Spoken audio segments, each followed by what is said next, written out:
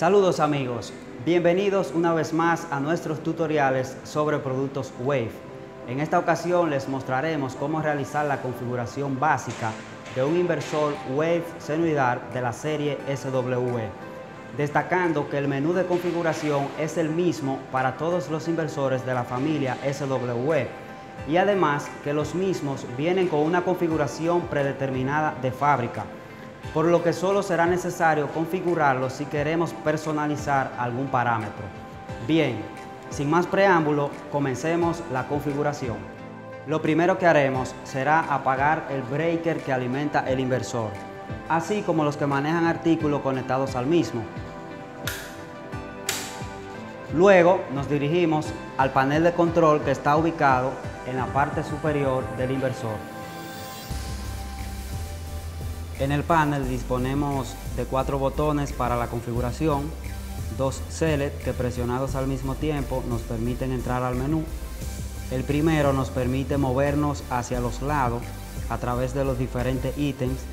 El segundo nos permite cambiar los valores a cada ítem.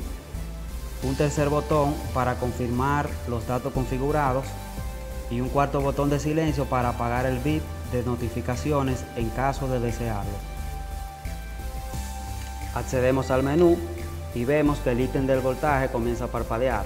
Si queremos variar su valor, utilizamos el segundo botón Select y elegimos el nivel de voltaje deseado. Si queremos variar otro parámetro, por ejemplo el amperaje de carga, utilizamos el primer botón Select para movernos hasta dicho parámetro y el segundo botón Select para elegir el valor deseado.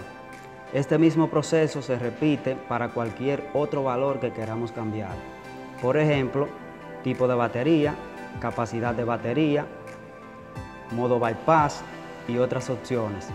Una vez hemos terminado la configuración, presionamos el botón confirmar para salir del menú, apagamos el inversor y lo encendemos de nuevo y listo, el inversor ya está configurado de acuerdo a los valores que hemos seleccionado.